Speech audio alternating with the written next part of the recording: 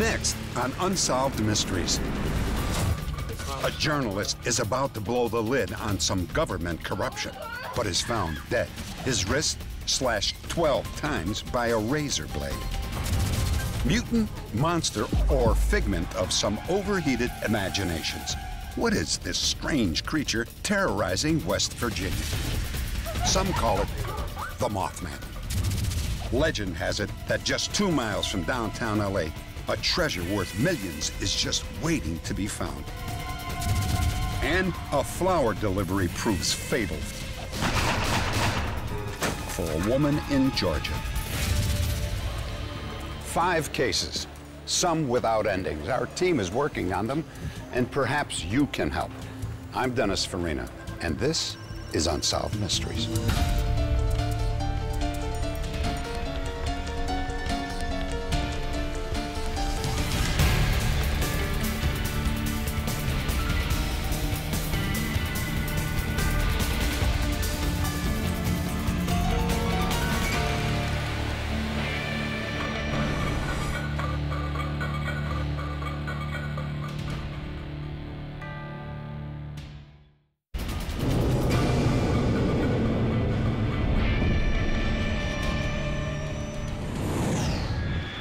Martinsburg, West Virginia. Housekeeping. It starts off like any other workday at the local Sheraton Hotel. The housekeeper opens one of the rooms to clean it. Nothing prepares her for what she finds inside room 517.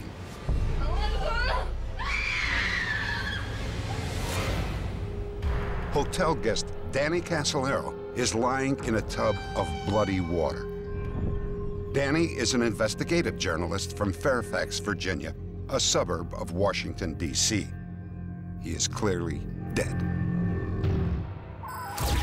What do you got here? Uh, seems pretty clear it's a suicide. We got a note Martinsburg police arrive on the scene. About a dozen slash marks on the wrist. In the room, they find a suicide note and a single razor blade in the bathtub.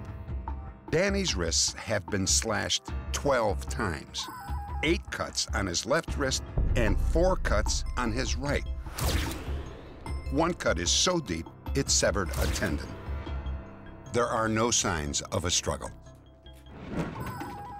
Danny's body is taken to a local funeral home later that afternoon. But strangely, Danny's family and friends aren't told about his death until two days later. From the moment we heard about his reported suicide, we doubted it, questioned it, wondered about it. It was not his nature to kill himself, so we were suspicious from the first. And then the deeper we dug into it, the more suspicious we became. Just a few days before Danny Casolaro died, he told friends that he was on the verge of breaking a huge story. Danny claimed to have proof that some officials in the U.S. Justice Department were corrupt. Many suspect that Danny's death was not a suicide. They believe that he was murdered because he was the man who knew too much. First of all, when was the Promise software developed and what was it for? Danny's advocates believe that the true story of Danny's death began when he interviewed Bill and Nancy Hamilton. They were the owners of a computer software company called Inslaw. They had developed revolutionary software to speed up case management for law enforcement agencies. The U.S. Justice Department was a major client. What we'll do first is bring up a menu. At first, the program was a success. But then, something changed. The Justice Department began to withhold payments from Inslaw, and they uh, withheld a couple of million dollars from Inslaw, drove Inslaw into Chapter 11 bankruptcy. Inslaw then discovered that the Canadian government was also using their software even though they hadn't paid for it. What sort of funny things started happening? Bill and Nancy Hamilton told Danny that they were confused by what was happening until they talked to a man named Michael Riconosciuto.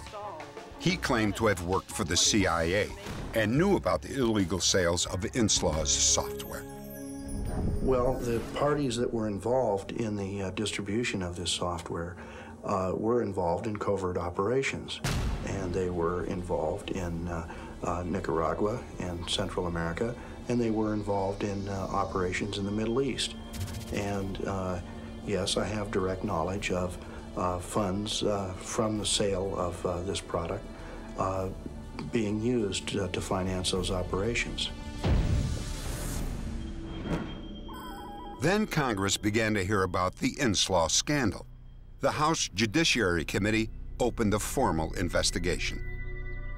The report describes the committee's investigation into serious allegations that high level Department of Justice officials were involved in a criminal conspiracy to force Inslaw, a small computer company, out of business, steal its primary asset. Michael Riconosciuto began telling his story to committee investigators.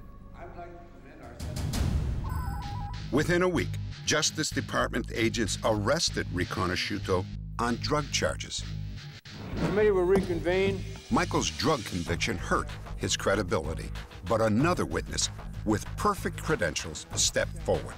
His name was Elliot Richardson. He was also Richard Nixon's attorney general until he resigned rather than participate in the Watergate cover up. He was now the lawyer for Inslaw. In the case of Inslaw, there's a spreading radius of circumstantial evidence which, at its outer reaches, entails a, a far more sinister kind of conspiracy than anything revealed in Watergate. Danny Casolaro now believed he had uncovered a sprawling criminal network. He said it was made up of U.S. officials, organized crime members, and intelligence agents. He called it the Octopus. You have pretty direct connections with some of the underworld crime figures, not only... Danny Casolaro stepped into a world that he didn't belong in. Uh, the type of people that he became involved with um, lie just as a matter of, of course. They lie, they cheat. There are people who've been involved in numerous murders, dealing drugs, dealing arms. And Danny Casolaro thought he could find his way through this labyrinth by himself. And that was a mistake. And they're the guys that I've been working with, my contacts, and they're calling me and saying, look, Danny, you're getting too close. You're gonna get hurt. Back off.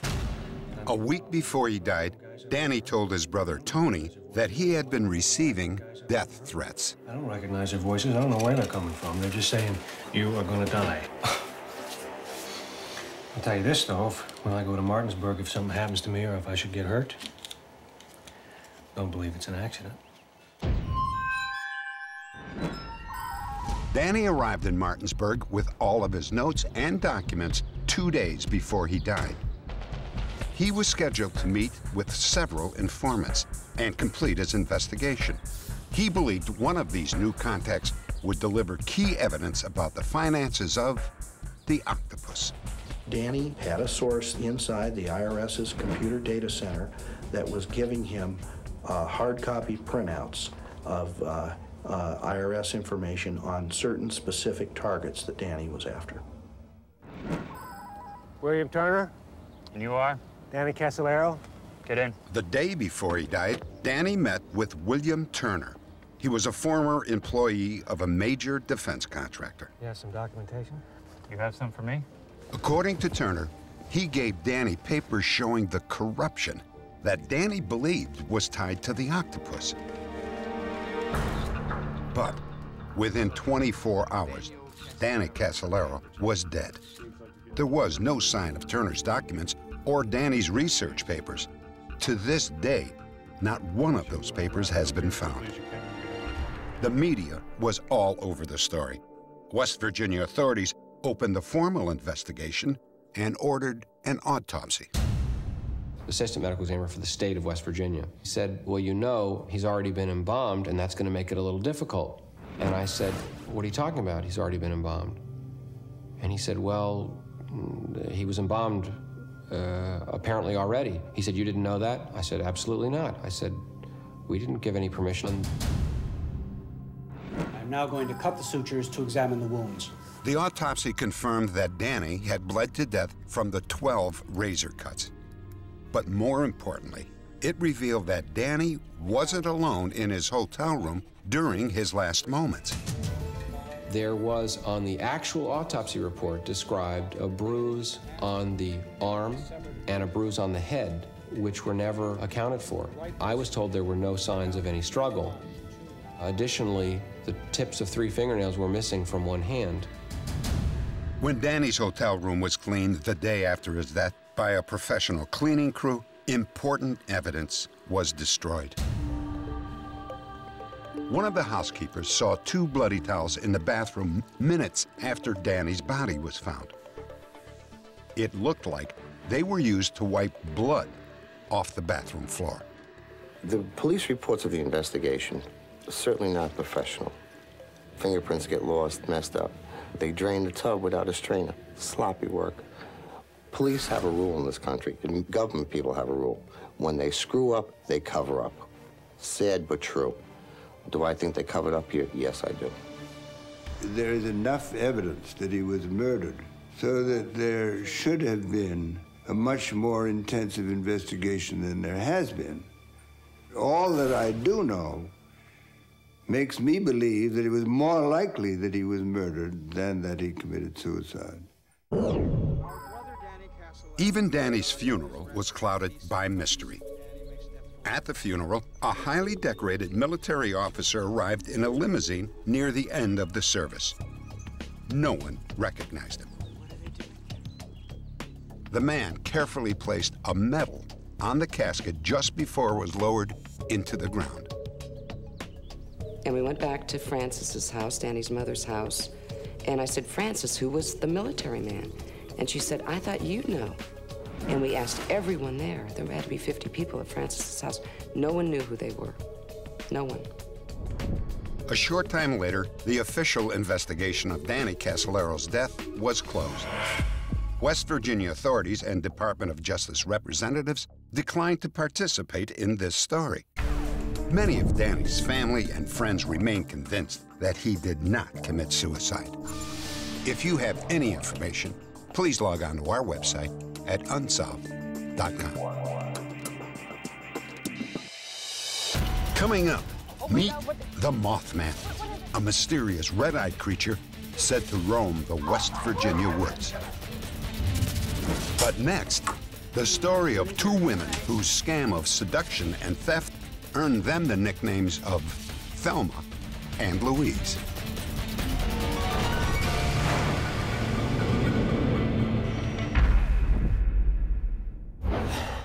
Recently, we profiled a pair of cunning criminals. Two women the police call the real life Thelma and Louise. If you passed them on the road, you'd think they were just good friends out for a joyride. But Rose Turford and Carolyn Stevens stole more than a quarter of a million dollars over three months from at least 10 men. Their MO was simple, yet devious. Rose and Carolyn lured their victims to hotel rooms and then robbed them. Rose and Carolyn, from the onset, wanted to be the real life Thelma and Louise. They wanted to experience that thrill, and the only thing is, I don't believe they ever considered what they were going to do to their families. A few months later, they were finally arrested in Houston. Their families put up everything they owned to post the $500,000 bail. But as soon as they were released, Thelma and Louise disappeared. Update. Five months later, a t-shirt just like this one led to the capture of the Thelma and Louise bandits in Toronto, Canada. Police found Rose Turford working in a telemarketing firm. Within 24 hours, both she and Carolyn Stevens were back in custody. I think that anyone who does a series of aggravated robberies are nothing more than criminals. They're not anything special. They're not anything to admire. They're just robbers. Turford and Stevens were each charged with four counts of aggravated robbery and one count of aggravated kidnapping. Carolyn Stevens pleaded guilty to the robbery charges and was sentenced to 10 years. She served nine and was released. Rose Turford, on the other hand, took a chance. She pleaded not guilty. But the jury didn't buy it. She was convicted and sentenced to 30 years. She served her time and has been released.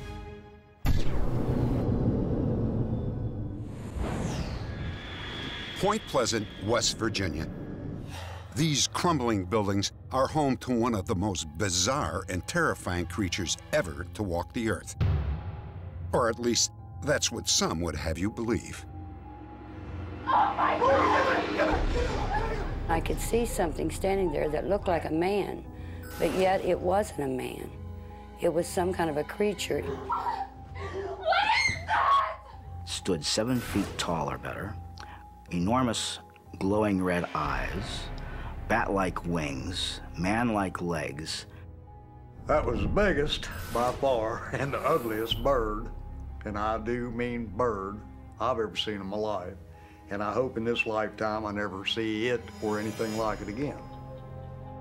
You have your percentage of citizens who feel that it was 101% a hoax, you know. I personally think that there, that there was something up there that scared the wits out of most of the people who came face to face with it. What is this strange creature? No one knows for sure. But one thing is certain. Hundreds of ordinary people have seen something in the woods that they can't explain. They call it the Mothman. One fall evening, Linda Scarberry, her husband, and another couple took a drive to an area called the TNT.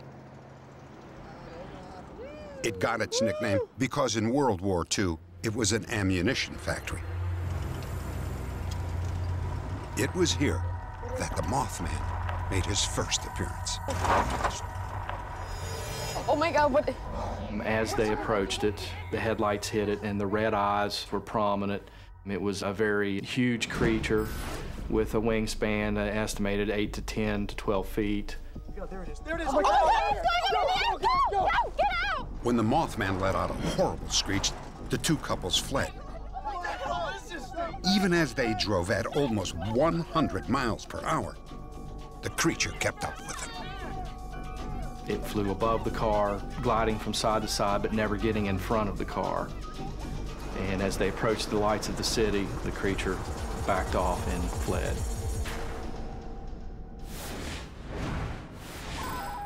The next day, Marcella Bennett left her brother's house with her four-year-old daughter.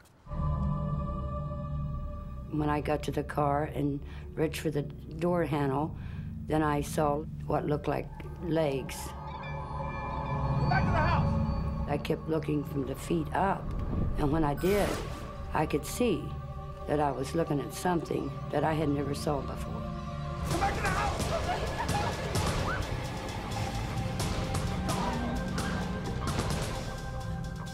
The creature looked like a man, but it was over six foot tall and it had feathers instead of skin. The way it looked, it was something I never, in my wildest imagination, would have ever thought that would be standing out there. Then, as quickly as it appeared, the Mothman vanished.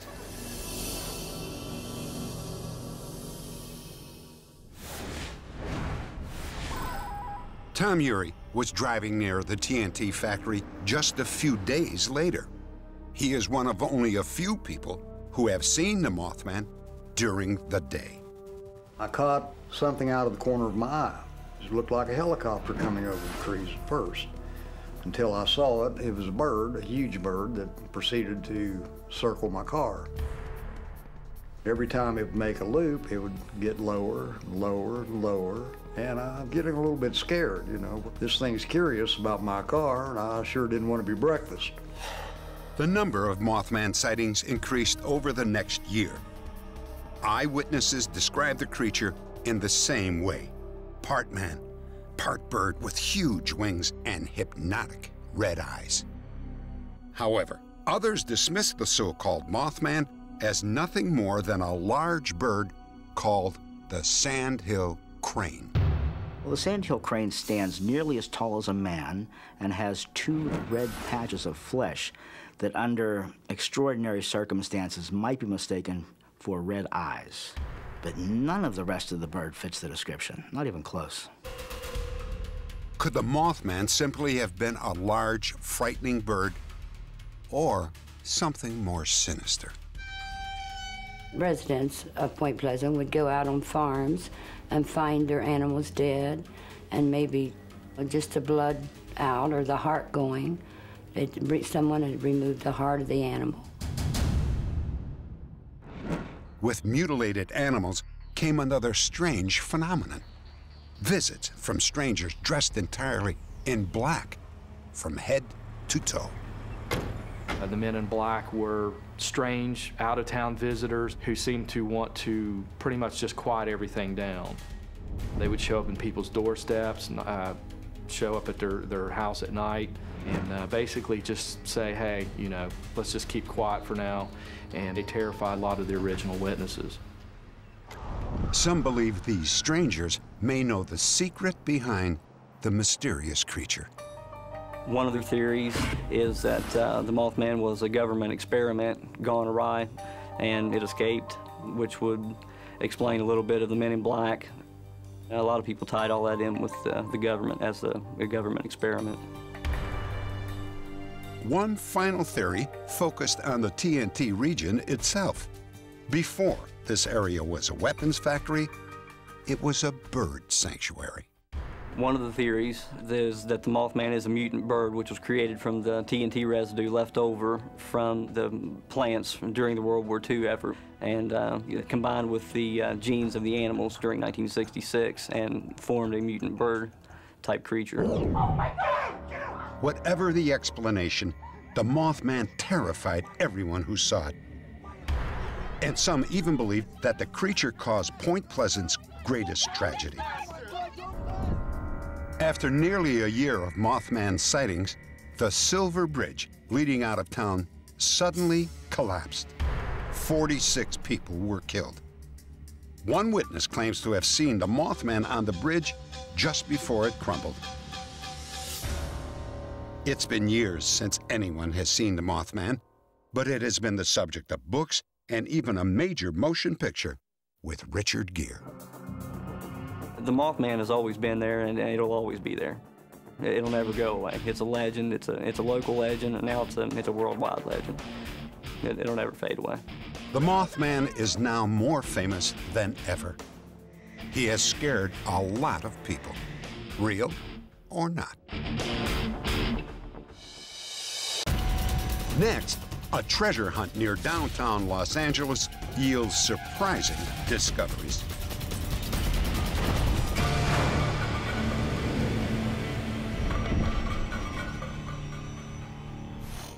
Legends of buried treasure usually take us to remote locations, but it is possible that there's a treasure worth millions of dollars hidden just two miles from the heart of America's second largest city. Los Angeles, California. It's hard to believe that 160 years ago, this was just a quiet, dusty pueblo. But that suddenly changed in 1846 war erupted between Mexico and the United States, and it's believed that wealthy Angelenos panicked as the fighting got closer. According to legend, some dug elaborate escape tunnels. Others buried their family fortunes. This was the best thing that they could do to protect their valuables at the time, and it was a customary way because there were no banks. If you wanted to protect something, bury it, hide it. Since then, Stories have circulated that many families did not return for their valuables. That means they may still be there. Two sisters looking for a long-lost family treasure hired Roy Roush. Around a lot. You know, this looks like the spot right in Years ago, they had searched for the treasure with their father. Right up in there. Now, they were able to find a spot that looked familiar. Well, the first thing that attracted my attention was on the side of a sandstone bluff were three indentations.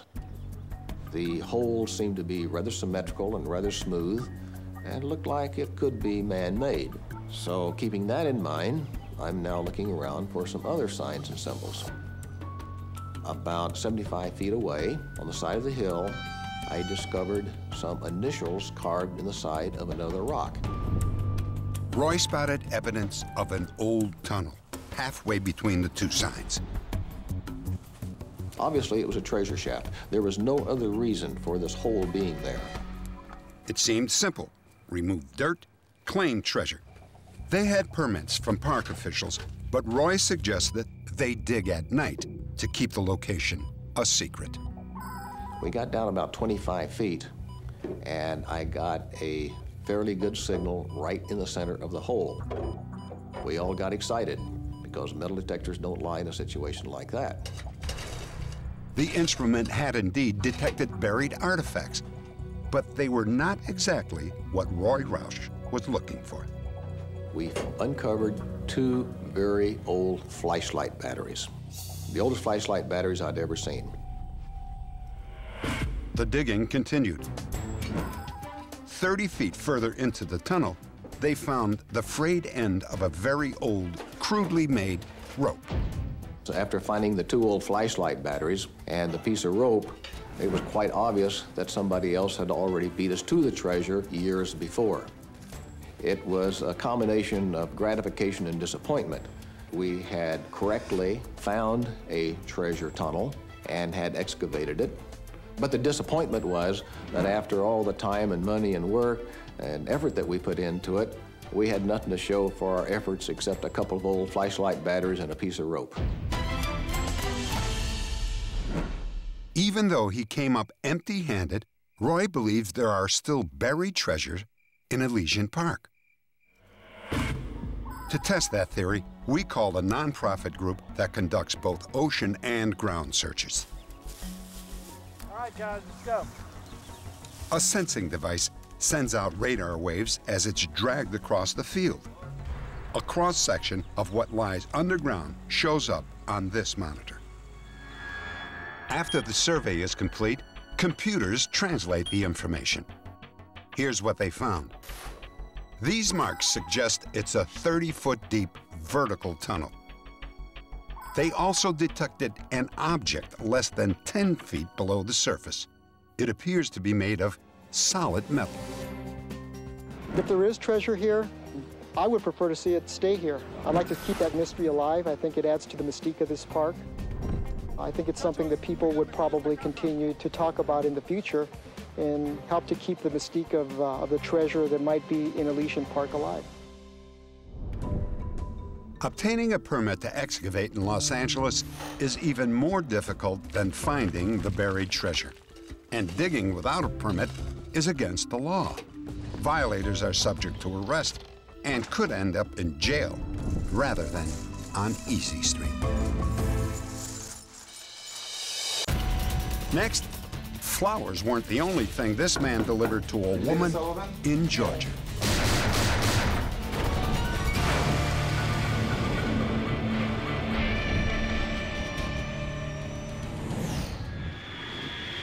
Atlanta, Georgia.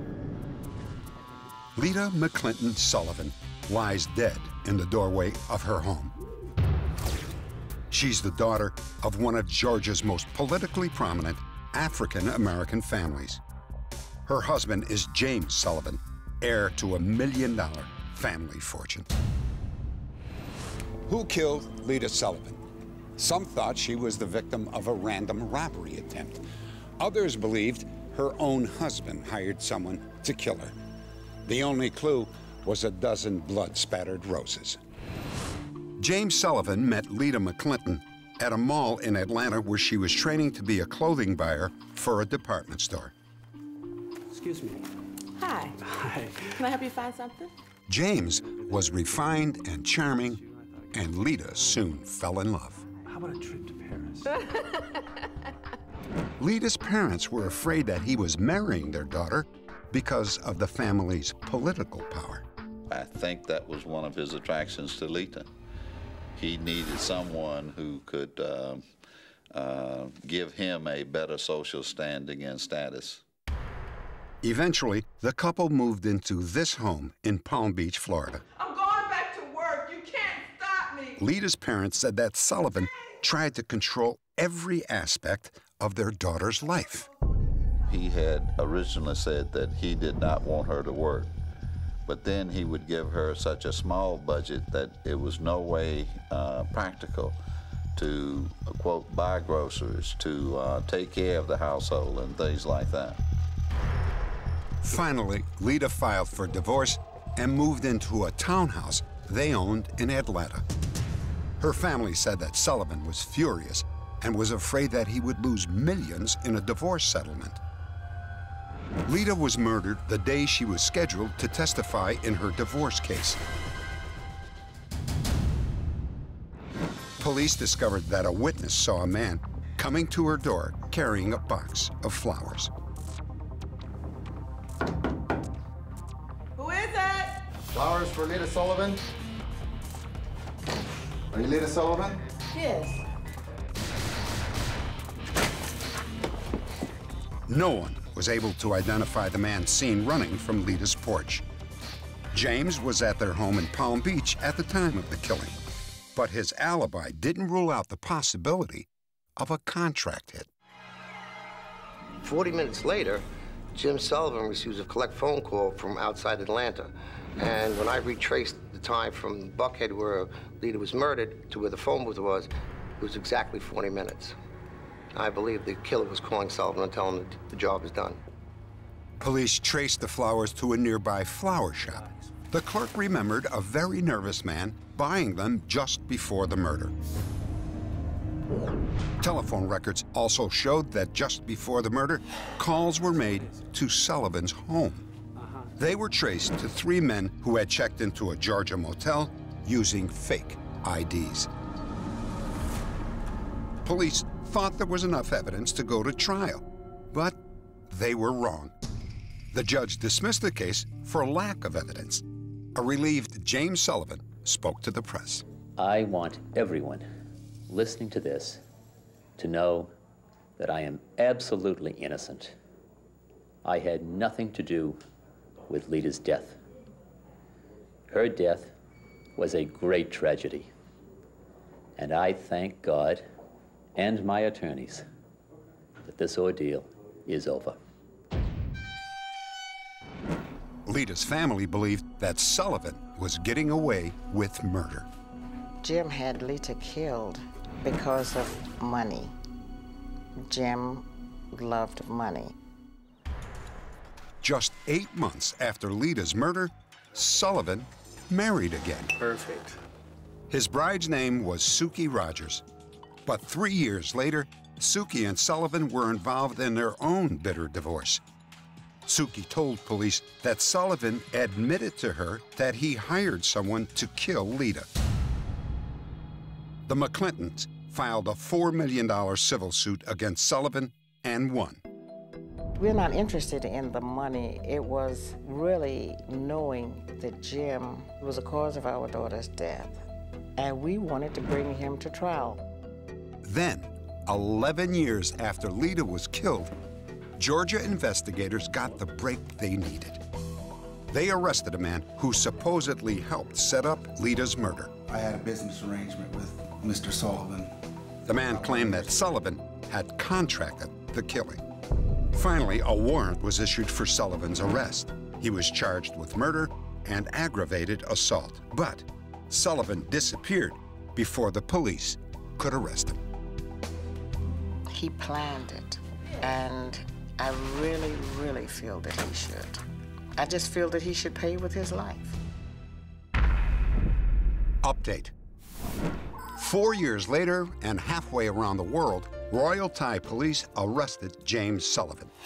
He was living in a beachfront condo 100 miles south of Bangkok with a girlfriend.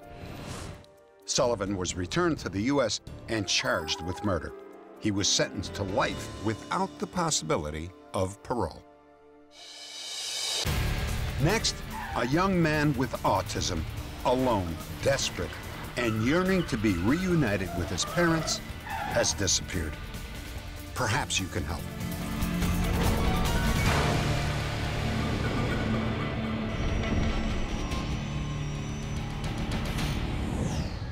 Grand Rapids, Michigan.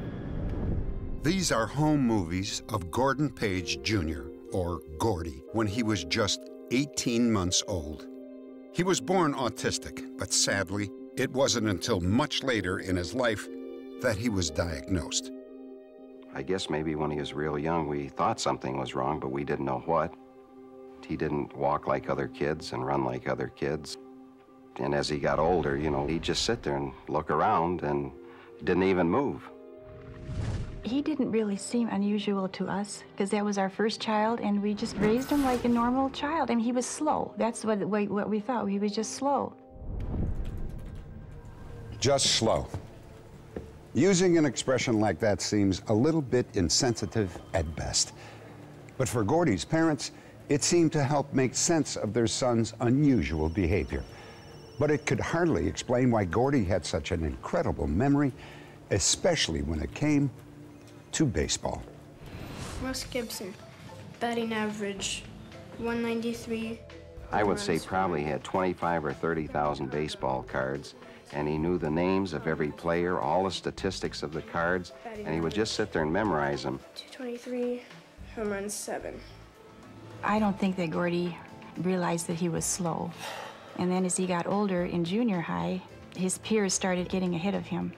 And when he needed to go into a special ed room, it bothered him, and uh, he had a hard time in 11th and 12th grade because he couldn't keep up with everybody who was passing him by.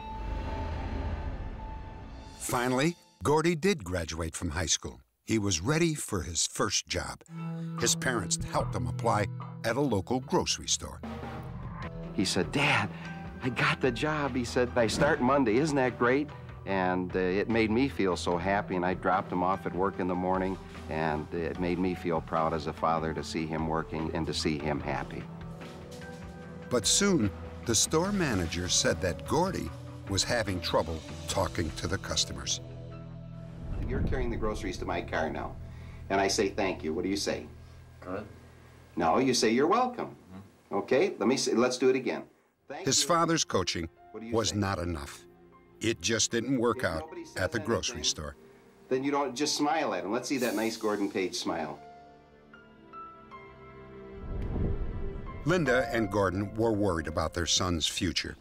They asked a social worker to evaluate him. He was diagnosed as a schizophrenic and recommended to start living at a group home. Finally, we agreed to try it, and we went to visit a group home. And the lady said, Well, he can't stay here until he goes to see if he needs to be stabilized on medication in the hospital. So we did this. We finally agreed, and uh, the doctor there put him on Ritalin and Valium, and Gordon wasn't Gordon after that. Eventually, Gordy was accepted by a well regarded group home. There, his medication was adjusted, and he started to feel better. With Gordy in good hands, his parents felt that they could finally relocate to Florida as they long planned. Gordy stayed behind in Michigan. For several months, things went well. But then one day, while heavily medicated, Gordy stole a truck that was left running in the driveway of the home.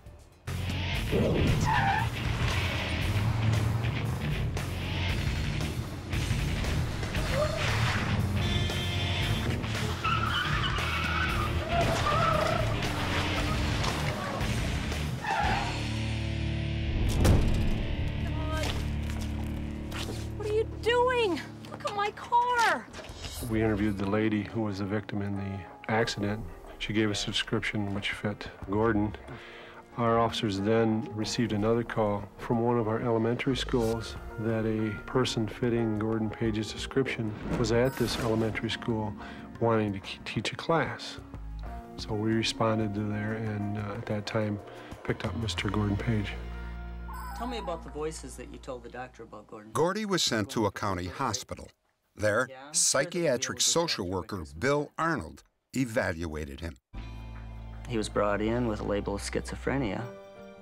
People that are schizophrenic will, uh, with medication, over a couple of week period, usually they'll start to clear up in their thinking and their, their behavior will come in line and they, they start getting back more to normal. Uh, with Gordon, that didn't work. Tell me about your baseball card collection, Gordon. Woody Fry, 1966, Pirate Rookie of the Year. After several months of intensive therapy, Bill realized that Gordy was not schizophrenic. He was autistic. Once we got him off all those medications and we started treating him as possibly an autistic and working on training and just giving him some respect, he was a totally different individual. And we'll need you to sign this.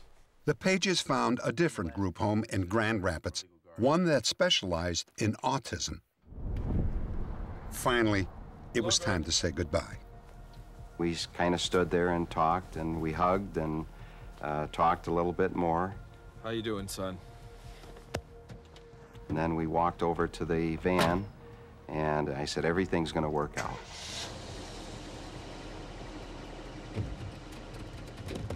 Gordy desperately tried to get his father to take him. It's very painful. Now, in retrospect, I wish I had allowed him just to get in and crawl back and just driven right to Florida and come home. But you don't think of those things, and we didn't know what we were going to be facing in the future.